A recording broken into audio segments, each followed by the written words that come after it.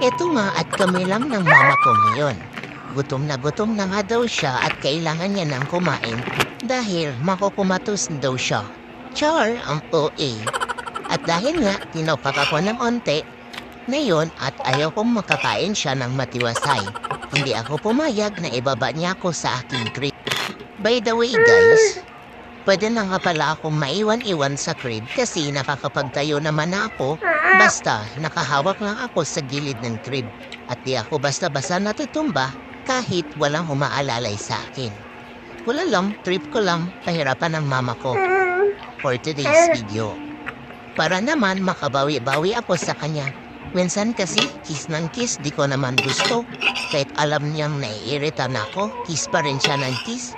Tapos, minsan pag umiyak ako na hindi niya alam ang dahilan, nagagalit siya sa akin. Kaya ito, gusto kong gumanti sa kanya. Kaya wala siyang choice kundi kandungin ako habang kumakain siya.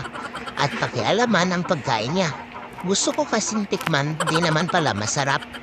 Mukha lang siyang masarap, sarap na sarap, pero hindi pala masarap. Ang galing magpanggap nitong nanay ko. Minabadali na nga pala niya ang pagkain niya para matapos na kasi nangungulit na po sa kanya. Ayun lang, bye!